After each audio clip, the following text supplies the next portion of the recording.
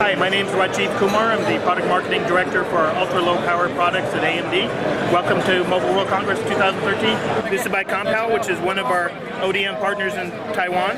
What we're showing here is a 13.3-inch hybrid system. Uh, it's running full Windows 8 Pro, so you get a full Microsoft experience on this particular tablet. And this is attaching to a intelligent base. Within this base, not only do you have traditional items like a keyboard, storage, extra I.O., and battery, but you also have a discrete AMD graphics card. So when the tablet is plugged into the base, you not only can take advantage of the discrete graphics card, but you also get a boost in your CPU frequency. So you convert from a tablet to a full notebook type of experience.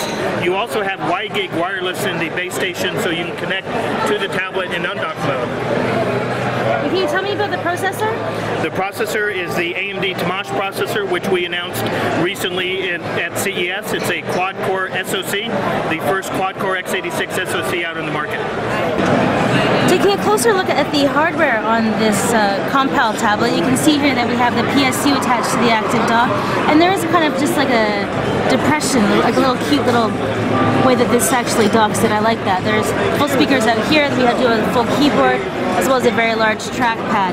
You can see here at the front we do have a keyboard lock as well as a USB 2.0. If we go around to the other side, you can see that we have a, another variety of ports. There is full HDMI, two USB 2.0, is a full-size card reader, headphone jacks, and that looks to be like some sort of display port. Uh, one of the more interesting features of this uh, hybrid tablet is that because this is on the, uh, the, the quad-core Temash, you can see that there is the fan integrated up here at the top. That's the first time I've seen that kind of design. It's very sexy. I'm looking forward to see that come to market if it ever does. And around here we have a couple more. It's very interesting. So that's been a closer look at the hardware on this uh, AMD hybrid.